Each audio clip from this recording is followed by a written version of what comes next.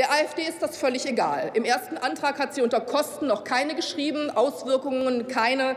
Äh, das zeigt, dass Sie sich mit dem Thema überhaupt nicht befasst haben. Dazu kommt aber, dass Sie im Wahlkampf ja zusätzlich zur Abschaffung des Solidaritätszuschlags in Ihrem Gesetz 18,5 Milliarden auch noch die Mehrwertsteuer um 7 Prozent senken wollen. Das macht mal schlappe 50 Milliarden aus. Und die Summe von 68 Milliarden wollen Sie finanzieren aus dem Steuerüberschuss von 37 Milliarden.